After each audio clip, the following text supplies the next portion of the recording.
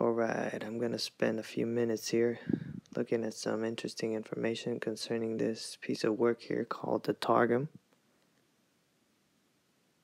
What is the Targum? The Targum is basically the early writings of the Old Testament. Targum, I'm sorry, Targum, as it says here. Come on, damn it. Don't give me a hard time here. Targum means translation or explanation. Basically, the Targum was the translation or explanation of the early Hebrew texts in Aramaic.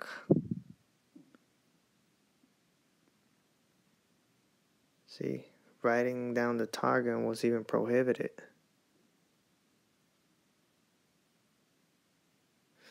Okay.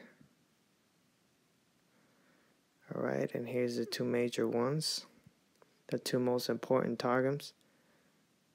And this is the one I'm going to be taking a look at just a little bit. Sorry about that. This darn thing is really giving me a hard time. Okay, the Targum of Jonathan. That's the one we're going to be taking a look at in this video. Alright.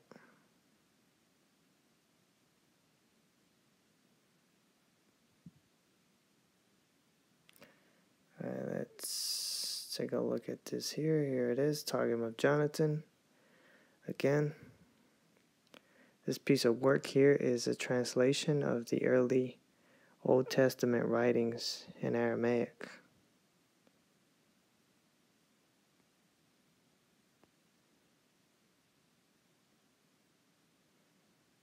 All right. Again, here it is. The language of the Targum is Aramaic. That's why when you look up in your Strong's Concordance in certain words, you see some of them are in Aramaic and others are in Hebrew. It was the language back in the day during the times of Neo Babylon. Again, same thing, Targum, Pseudo Jonathan.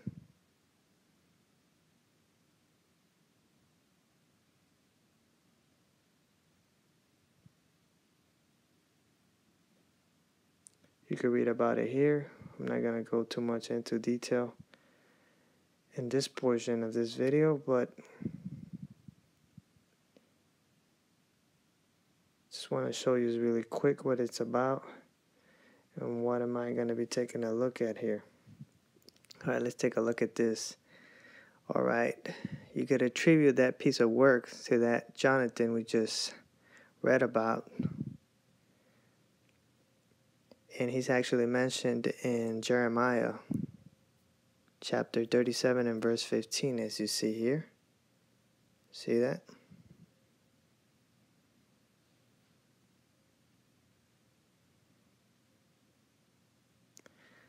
Jonathan the scribe is mentioned in Jeremiah 37:15. Here it says, Why the princes were wroth with Jeremiah and smote him and put him in prison in the house of who? Jonathan the scribe. Hence, the Targum of Jonathan. Yep, the Targum of Jonathan is legit. That is what was being used back in the day. That was the Bible for them back in the day. Again, it wasn't complete like the one we have now, obviously, but it was the early writings. And it was in Aramaic because a lot of the Hebrew Israelites, Yasharel, a lot of them had forgotten Hebrew. So they adapted the language that was at the at the time they were living in more predominant, which was Aramaic. That was the lingua franca, so to speak. So they were learning it in the language that they knew, which was the Gentiles' language of Aramaic, as I just mentioned before. All right, so yeah, this Jonathan is mentioned a few times in Scripture. There are many Jonathans throughout the Old Testament, but this is the one that wrote the Targum in Aramaic. So it's a legit piece of work. You know, a lot of times we look over and look past these things, but uh, it's not there for no reason. Jonathan the scribe is being singled out for that same reason, letting you know that he has an important piece of document that you might want to look into whenever you get a chance. Right? So, yeah, he's mentioned a few times. All right, here's the information I wanted to show you. It's under the topic Targum. Okay, here's what it says concerning the information that I want to share. It says that Targums were explanations of the Hebrew scriptures in Chaldaic for the benefit of those members of the tribe of Judah who had partially or completely ceased to understand the sacred tongue, which was Hebrew and still is. So they adopted the Gentiles' language at the time, which was Aramaic, the lingua franca, right?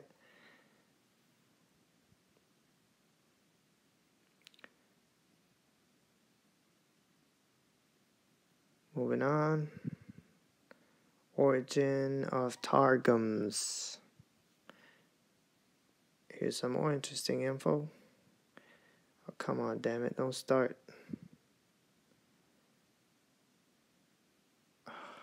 Okay, let's see here. Alright, here it is. And I could just move this up.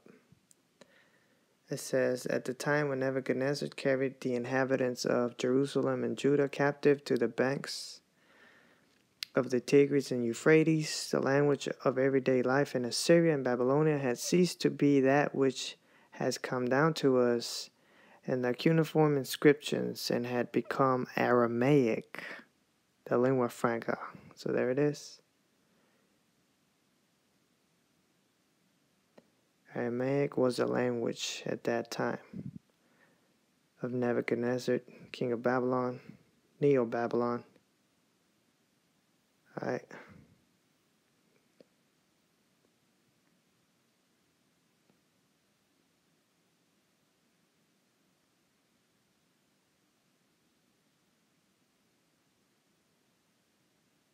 What else? What else can I get from this before I close it out? Okay. Let's see.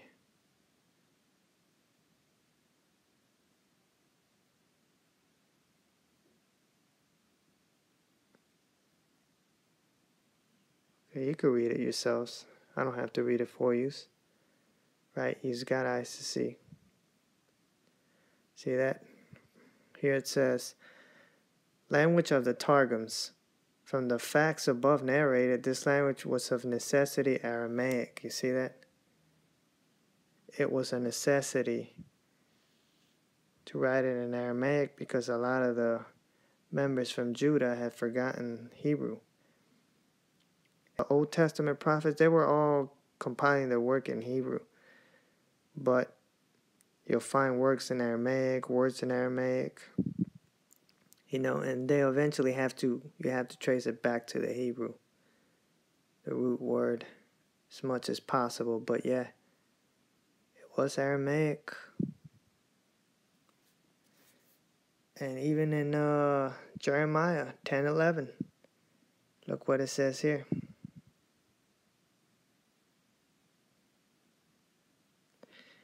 This verse in particular presents an almost unique phenomenon it is not like the rest of the book in Hebrew, but in Chaldee or Aramaic, the language of the enemies of Yasharel. You see that? In this verse reads, Thus you shall say to them, The gods that have not made the heavens and the earth, even they shall perish from the earth and from under these heavens. He wanted to address the heathen that were ruling them at the time in their own language, Aramaic. In other words, he was dissing them, the Most High. Told Jeremiah to speak up and diss them. Alright? So there it is, man. There it is. Legit. Aramaic. Jonathan the scribe was the one that wrote the Targum of Jonathan. Mentioned in the Bible, Jeremiah 37 15. Again, it is important for me to bring out this video because I plan on extracting some very interesting information from that piece of work of his called Targum of Jonathan. And now we find out what the Targum is. Alright? It is the early Old Testament writings of the Bible. When it was still being written, the Old Testament was still being written, alright? So that's all I got for this video, and until next time, shalom.